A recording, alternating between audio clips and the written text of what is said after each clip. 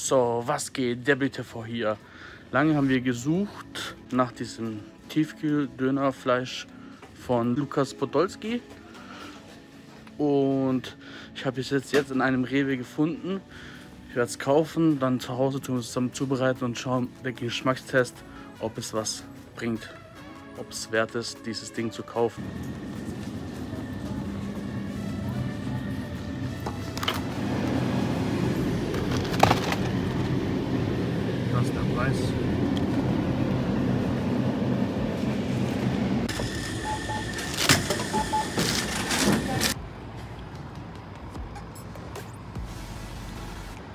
So, also jetzt haben wir es gefunden. Bei einem Rewe. So hieß es auch zu mir. Hab jetzt beim ersten Rewe gleich den Volltreffer gehabt. Geht es auch leiser? Ah, mein Nackräum. Also ich hatte beim ersten Rewe zum Glück den Volltreffer. Hab's gleich gefunden. Der Preis, okay. Es ist günstiger wie jetzt ein Döner an sich. Wenn du nur Fleisch möchtest, kannst du aber auch für 3 Euro Fleisch oder für 3 Euro, keine Ahnung wie viel es gekostet hat, Fleisch kaufen und mit Hause nehmen vom Dönermann.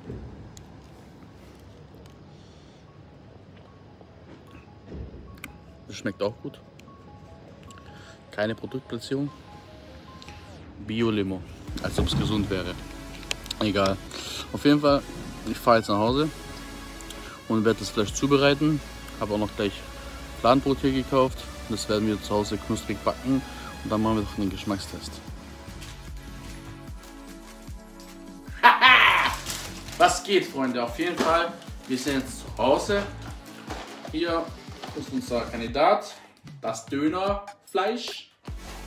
Haben uns auch gleich beim Rewe ein Fladenbrot gekauft, genau. Wäre ich lieber zum türkischen Laden gegangen, hätte mir Deutschland geholt, sind scheiße teuer, aber drauf geschissen. Zu spät. Auf jeden Fall hier ist das Produkt. Das Produkt lesen wir jetzt gemeinsam ab, schauen uns es an. Also hier kann man lesen schön.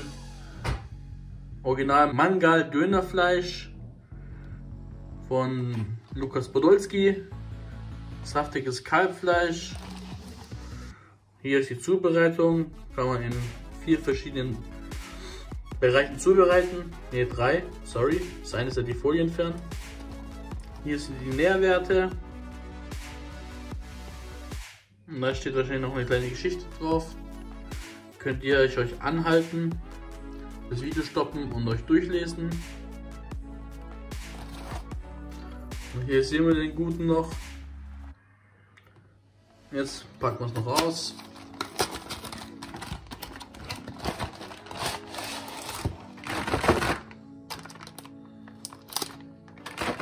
Auch gleich die Folie.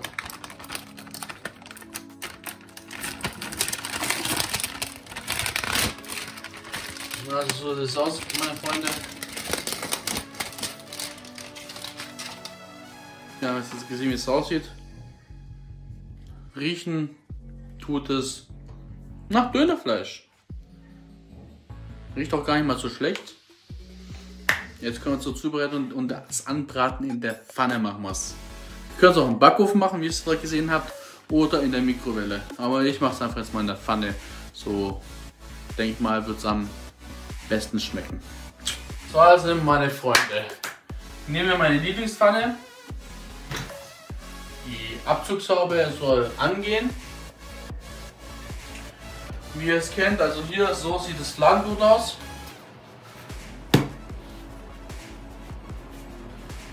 Wäre jetzt so zu trocken zu essen, wäre mir zu lash. Deswegen machen wir es. Früher in vielen Dönerläden war es heißt nicht traditionell, aber war es alltäglich, dass das Fladenbrot noch schön kross getoastet worden ist. Gibt es mittlerweile nicht mehr. Warum auch immer. Bei uns hier in der Region, ich sage mal im Raum Stuttgart, aber ist ja auch egal. Ich mache es jetzt so, dann ist es wieder schön frisch. Das machen wir dann gleich danach. Schön drücken. Machen wir gleich an. So, Nehmen wir ein bisschen Öl. So, Sollte reichen. Und dann nehmen wir das Dönerfleisch. Natürlich einschalten. Nehmen wir das Dönerfleisch.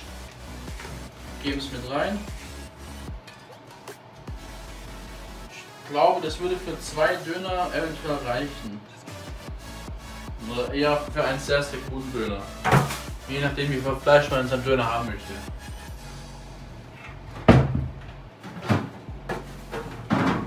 So, ein bisschen Eisbergsalat habe ich jetzt noch da. Und was habe ich noch da? Ja. Noch eine Gurke, machen wir eine Gurke auch noch rein. Mir persönlich schmeckt es im Döner eine Gurke. Warten wir mal, bis die Pfanne ein bisschen arbeitet und dann sollen wir das ja ein paar Minuten bei mittlerer Hitze für zwei bis drei Minuten anbraten. Da habe ich keine Joghurtsoße oder da. So hier, das ist natürlich keine Produktplatzierung, aber ich werde jetzt mal hier diese Soße, Chipotle Chili Soße, äh, dafür verwenden, um in den Döner ins Fladenbrot reinzuschmieren, dass es nicht allzu trocken sein wird. Weil wir wissen ja nicht, wie das Fleisch schmeckt. Natürlich werden wir das Fleisch auch so probieren, wie es geschmacklich sich darstellt. Und dann werden wir unseren eigenen Döner sozusagen kreieren. So, trinken wir wieder unser blaues Blut in der Kaktusfrucht Edition.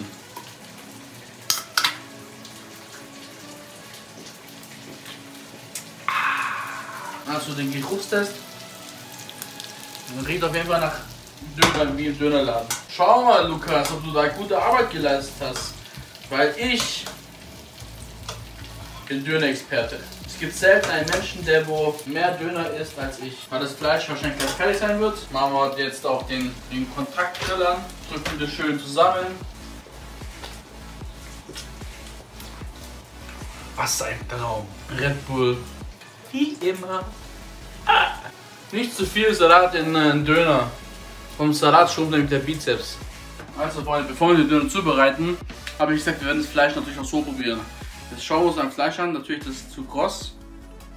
Ein Fleisch, wo es, ja hier.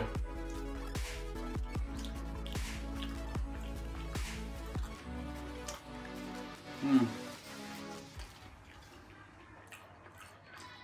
Doch, hey, heftig.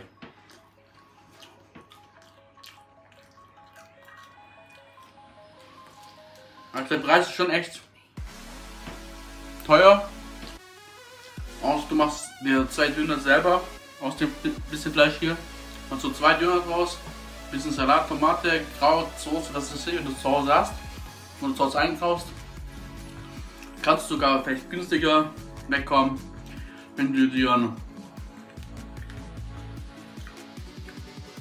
du Döner aus, der, aus dem Dönerladen holst, von deinem Dönermann des Vertrauens. Ich habe ein bisschen zu kross eingebraten. Aber egal. Kann man auf jeden Fall genießen. Jetzt bereiten wir noch den Döner zu und probieren es als Selfmade Döner. So, machen wir es wie eine Dönerbude.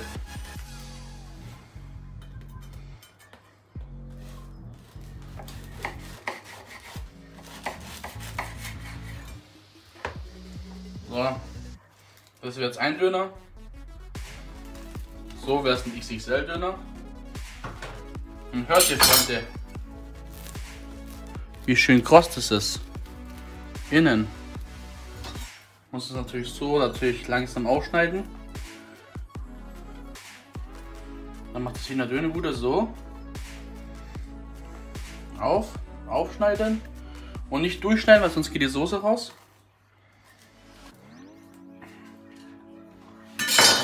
Somit habt ihr so eure Dönertasche. Und guck mal, ich gebe euch einen kleinen, schönen, feinen Tipp, wenn ihr im Dönerland seid und der das nicht macht von selbst aus mit den Soßen, weil es eine Soße ist, immer erst aufs Brot die ganze Soße verteilen. So, schön einreiben. Mal so ein Ding ist das. Und dann ist schon mal das Brot auf jeden Fall nicht mehr, nicht mehr, ähm, sag's mir, nicht mehr trocken. Dann macht ihr euren das Dönerfleisch hinein. Ich brauche jetzt nicht hier drauf zu achten, weil es sind meine sauberen Hände. Und das ist mein Döner. Würde ich das für Gäste oder so machen? Natürlich mit einer Zange oder sonst was. Gar keine Frage. Machen wir ein bisschen Salat rein.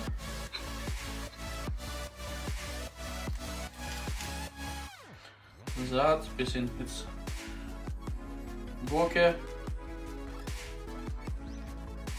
Natürlich könnt ihr euren Döner so belegen, wie ihr wollt.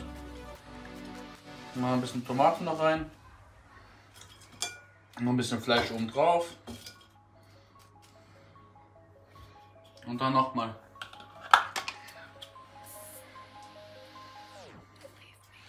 Heute habe ich keine weiße Joghurtsoße oder kein Tzatziki da. Aber ist ja auch egal.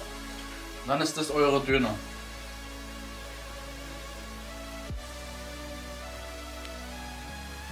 Wunderschön das Ding. Wunderschön. So, also die letzten Male waren wir an meinem PC-Tisch, um das Essen zu probieren. probieren. Wir waren auch schon am Küchentisch, aber guck mal, den Döner, so standardgemäß, wenn man sich einen Döner holt, holt man den meistens zum Mitnehmen und dann isst man den unterwegs, wo man auch hin ist, oder vielleicht isst man den im Auto, keine Ahnung, aber den Döner isst man meistens eher im Stehen wie im Sitzen. So standardgemäß eigentlich bei mir. Jedes anders. Jetzt probieren wir das ganze Ding.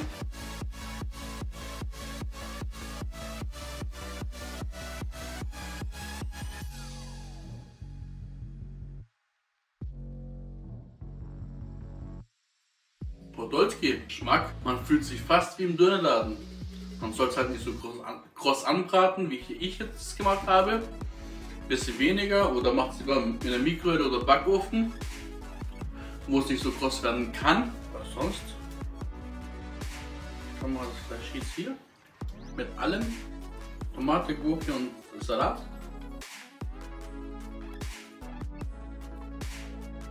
Muss man dir recht lassen glaube, du hast auch einen eigenen Dönerladen irgendwo in Deutschland. Ich muss glaube mal da vorbeikommen und dann vor Ort deinen frischen Dönerspieß probieren, wenn du ihn selbst kreiert hast. Also meine Freunde, das Fazit ist, man kann sich kaufen auf jeden Fall. Über den Preis kann man sich streiten, ob er gerechtfertigt ist oder nicht. Und ab und zu kann man sich gönnen. Aber ich bevorzuge, ich bevorzuge doch lieber den Döner aus dem Dönerladen von dem Dönermann meines Vertrauens. Wo ich weiß, dort schmeckt es auch sehr gut. Und ja, das soll schon ein Video, Video gewesen sein. Wenn ich weitere Produkte testen soll, lasst mich das in den Kommentaren wissen. Gebt mir ein Abo, liked, disliked, Schreibt einen Kommentar, was ihr als nächstes testen soll oder wie ihr das Video fandet. Bis zum nächsten Mal, euer DerbTV. Peace.